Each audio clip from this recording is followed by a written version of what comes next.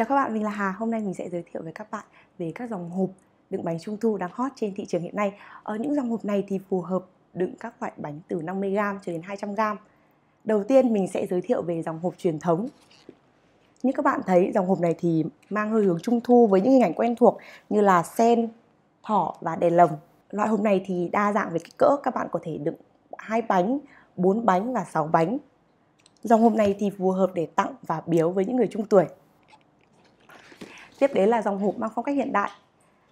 Như bạn thấy thì à, ở dòng hộp này, các bạn sẽ không nhìn thấy những hình ảnh trung thu, cổ truyền quen thuộc như là thỏ này ờ, đèn lồng, cá chép, mà thay vào đó là những họa tiết, hoa văn rất là cầu kỳ và bắt mắt. Đối tượng để tặng dòng hộp này thì cũng rất là đa dạng, từ những người trẻ cho đến những người lớn tuổi ạ. Nào, bây giờ chúng ta hãy cùng nhau tiến hành gặp hộp nhé.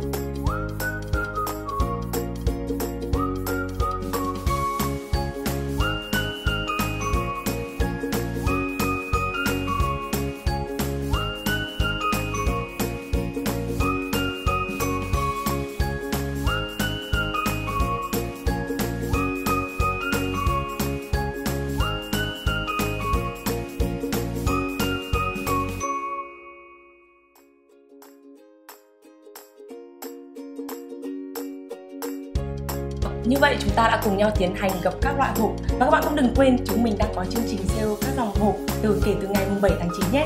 Ở thông tin chi tiết chương trình các bạn có thể xem ở nội dung phía dưới. Xin chào!